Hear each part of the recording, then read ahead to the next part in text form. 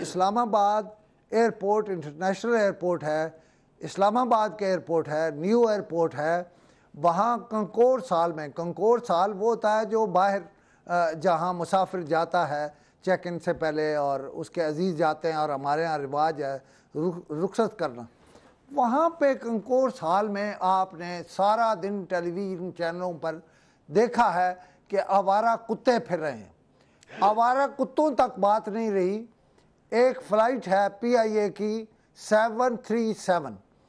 اس میں جب چمگادڑ آ گئی اور یہ وہی پی آئی اے ہے جس کا ایک جہاز ملک سے باہر گیا، مسلمان اور اسلام دشمن فلم کے لیے استعمال ہوا۔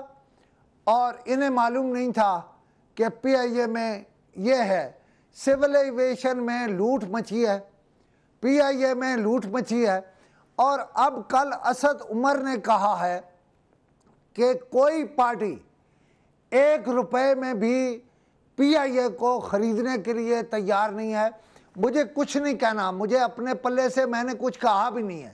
لیکن کیا یہ حکومت ہوتی ہے کہ آوارہ کتے، ذرا دیکھیں جو فوٹیج چل رہی ہے، آوارہ کتے ان سے نہیں سنبھالے جا رہے، آوارہ کتے، اور ایئرپورٹ ہے، اور اسلام آباد کا انٹرنیشنل ایئرپورٹ۔